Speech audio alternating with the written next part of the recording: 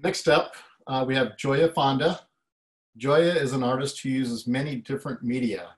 You never quite know what she's going to do, but it's always, always really colorful. Uh, she teaches drawing and painting courses at Sacramento City College and regularly share, finds ways to share her art with the public, maybe through a traditional art show in a gallery or by helping to plan a parade, or perhaps through a public art piece in a state building. Uh, let's see what she's doing these days. Gioia, are you here? I'm here. Hi, Gioia. Hi. it's been a while. Yep. My hair keeps disappearing into my back. Oh, my, yeah. I'm, I'm, I'm pretending to be at my studio. Okay. Yeah. Well, you're pulling it off. um, I'm going to go with the one that always fascinates me is what influences or inspires your work? Oh, gosh. Um, I just look at a lot of art all the time. Um, you know, I'm always right now I'm back to teaching, and so I'm always looking for images to explain a certain concept to students. And so I'm just, you know, always delving into art history and contemporary art and and discovering new things myself. Um, and you know, any research I'm doing for any of the projects I'm working on. Um, recently, I was working on a project and I uh, revisited a French artist named uh, Auguste Herbin, and I'm I'm just into it right now. It's it's mostly triangles and half circles, but um, and a lot of orange. So I don't know. It it changes by the minute. Mm-hmm. Um, well, we we spoke at length that when I interviewed you. Yes. And one of uh, I'm still taking, and Judith shares this with you that the the bike lane finds. Yeah, I was thinking Judith. I so much of what she said resonated with me that I'm like, oh, I don't, they don't even need to talk to me because she already said all the things I was going to say, um, which is great. I think that we we share that. Um, yeah, I'm not riding my bike because I'm not going anywhere uh, as much. Of course, the smoke as well. But I, but like Judith, I go on a walk every day, at least when the air is breathable. And um, I've been taking a lot of pictures while I'm walking, and I've got a whole pile of stuff that I picked up off the ground. And um, for the past couple years, I've been really interested in collecting uh, lost pet flyers. So I'm, uh, I've got a quite a quite a stack of those going, and my neighborhood is. I always I, I get a new I get rewarded with a new flyer almost every time I go out. Um, I do wait a few weeks before I take it off the telephone pole, but um, but that keeps me you know walking around checking on the progress. Like, is it still there? It's a risk, you know. Mm-hmm. Um, when we since we're kind of walking into that about your artistic process, why don't you talk a little bit about your artistic process? Oh gosh, well, it's I can I can assure you that it's not linear. Um, there's a lot of play involved and a lot of experimentation, and a lot of research, and dead ends, and um, I you know the, the picture behind me is what my studio looks like in this moment, and um, it's a mess it's a real big mess. And i know that that doesn't look like a workable space for a lot of people but to me it's kind of the the ads where they used to you know the Reese's ads where the guy used to bump in you know the chocolate guy would bump into the guy with the peanut butter jar and make a discovery. I feel like that's um, kind of a working principle in my space and in my life is to just let weird things rub up against each other and see what happens. And if everything's put away i don't know how those unlikely juxtapositions would occur. So uh, that's that's part of my recipe. I think is to just um, shuffle and pile things next to each other and let them slide onto each other and see what talks. Yeah. One of the things you said in an earlier conversation um, was the way you leave notes to yourself. I do. I've got like this is my I'm sitting in front of this computer a lot while I teach, and this is, you know, just the notes from today. Um, so yeah, I don't. I don't know. I I can't remember the term for computers like RAM or or, you know, what memory you use and then the memory that you store stuff in. But I'm short on both, and so my um my coping skill is just to write stuff down and rediscover it later on and um, so yeah there's i've got a sketchbook at hand almost every direction i carry one around all the time and then i have these these pieces of paper everywhere so that way i don't it stresses me out when i think i'm going to forget something Like right now, it's terrible when I drive across town, I hear something on the radio and I have to like say it to myself a hundred times before I get home so I can remember it because I can't write it down while I'm driving. I hate that. So. um, talk about your typical day or atypical day. Okay. Well, well, right now it's not good. Right now, typical day is um, I just get a few minutes to to wake up and and clean myself up enough to be on a screen like this and drink tea and feed the cats and maybe water the yard. And then I spend a lot of time at my computer right now trying to teach people how to make art from this kind of format. So that is a new thing for me and I'm very challenged by it. I feel creative all day long. I'm problem solving all day long. It's a little bit miserable, but also a little bit enthralling. And um, I so badly just want to just go go to someone's house and just show them how to draw or paint or whatever. But I, I can't do that. Um, when I go to my studio right now, my studio has become my default demo space. And so I'm that I'm spending time making little weird paintings of like, here's how to do this, here's how to draw that.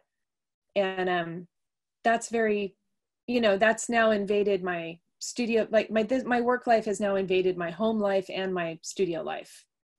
And it's, there's, there's, um, you know, sometimes I say I'm going to my studio to film a video and then I end up kind of screwing around with something else over there. Or I say I'm going to go and work on something and I end up filming a video. So everything's kind of it's entropy right now. It's all the same. Maybe. So what do you do to keep motivated? Uh well, you know, if you catch me when I'm not in motion, then I think like, oh, it, it might sound like I'm really having a horrible time. But as soon as I start doing anything, I'm I'm pretty happy. Like uh, so just getting my hands on materials right away, that that does something for me. Um, you know when the students turn in work that motivates me because then i can see if it's working or not. So that helps. Even just like writing a new handout and making something better and proving you know what i've already said before that helps. So motivation hasn't really i don't know if that's been the problem. I also have a lot of pressure and stress right now. There's a lot of projects going on. So i'm working on art but it's not like my normal art. So right now working on art means sorting out insurance and filling out forms but the art part will come soon, but it hasn't been here for a while. Um, that's that's what my practice is right now. That's sort of terrible, like not terribly inspiring for open studios, but but it's true. I mean, sometimes an artist's job is to just like answer emails for a while. Mm-hmm. Well, I got to imagine with um, with the teaching, because I'm assuming you're doing um, distance learning yeah, I'm trying to teach college level painting, drawing, and design through. Yeah, how how does that impact your your work? Well, um, it's kind of a, a bit of an existential crisis, but um, I because it's hard. It, it's it's because I really love doing what I do. I love teaching and I love teaching people how to do this stuff. And I really don't like doing it this way. But I'm trying to find joy in it. How does it affect my work? I feel like my work before the pandemic hit, I was on this like going to make all these paintings about this crazy quilt I found, and I was really excited about it. And I was excited about the ideas I was having around that. And now those ideas maybe feel less relevant to me. Like I might have to pick it up later on. And now I feel like I'm wanting to make all these paintings about this experience that I'm living right now, kind of stuck in this place. And that's, I haven't done that yet because I've got these public art projects I'm working on, but I draw a lot while I'm on Zoom and I've sketched out some ideas about just kind of being stuck here. And um, I have some painting ideas, but I, I don't, I don't know if they're going to happen or not, or if they're even good ideas, or if after 2020 is over, if anyone wants to see that at that i mean i think we'll all be sick of 2020 by the time it's done. But like i look at bonnard a lot and he had like a you know a lot of home based paintings kind of you know i think the the girlfriend was kind of a sickly person and it's a lot of interior sort of people just looking a lot of cat cats in and out of the picture. So sometimes i just pretend like i'm in a bonnard painting but it's like a apocalyptic bonnard i, I don't know if that helps well, let's let's look beyond the pandemic. Yeah. And post pandemic, what would you like to see in the art world, both locally and beyond? Well, I've been following some some different interest interesting people on Instagram, or you know, I'm interested in what's going on in New York because I think a lot of stuff is closed. I can't. I'm so ready to get out of town and travel and do something, but of course, you can't go anywhere. And if I did go somewhere, everything would be closed. So, but I am interested in like what will be left when I get to visit these places. Like what what will remain? And and then the changes that people are asking museums to make i think are really positive. So i'm very excited about that. And um you know in terms of you know i think that there needs to be like a giant change in programming so that it can be more you know inclusive. And, and that's been the case for a long time and there's museums that have moved towards that. But i think that they they kind of have to now. So that might be kind of interesting i think that the idea that art fairs and and this kind of really commercially focused, all about sales part of the world. And I don't participate in that anyway, so it's not a big deal. But that's kind of probably die, and that's maybe not a bad thing. Um, Jerry Saltz has been saying a lot of stuff about like what you're doing right now is art in the future, like what like small groups of people doing their thing and, and still doing it throughout the pandemic. And so I think that's a good voice to listen to of like, you know, this has never been about anything except artists making art. So just artists have to make art. And um, so you know i see that happening and i'm excited about you know maybe maybe it's going to be smaller scale maybe there won't be as much art with a capital a and there'll be a lot more art with a small a and maybe it will be more about telling each other stories instead of trying to sell paintings or or whatever we're trying to sell i think also there was like this moment where maybe some of this technology based virtual stuff was going to take off and I, you know, I tried like to go on this art show and on Second Life, and it was the whole thing was just such a disaster. Like just logging into Second Life was such a weird experience for me. So I don't know. I don't think we're there yet, and I think people are hungry for like less of this and more of like stuff in front of them. So um, I'm hoping that there'll be like a, a renewed interest in visiting your local art establishment and and appreciating, you know, the vernacular art and design things that happen every day, like protest signs or yeah, I walk around my neighborhood a lot. I really like the way people modify the mailboxes so that they can still have their violent dog, but it won't kill the mailman. So like mailbox modifications have become my new sculpture to enjoy. I don't know. Yeah. Do you, Judith mentioned that um, she has a, a group, online group that they do art challenges. Is anything like that in your in your world or? You know i always bookmark stuff and say that i'm interested in that and i am. I truly am but i just have not had time. Like i am so busy. I've never been i feel like maybe i've never been so busy before because everything takes longer to do and you have to do everything yourself right now. Um so i don't i don't know. I mean i think that uh, that stuff is interesting to me. There's like a a Facebook group that I follow that puts up a different post every day, and I really enjoy it. It's like poetry, and it's about nothing, and I love it. And I really want to do their assignments, but I can't even find the 10 minutes a day to like take a picture of my foot or whatever it is they want me to post. I can't, I can't, I can't. But I enjoy everybody else's foot pictures that day.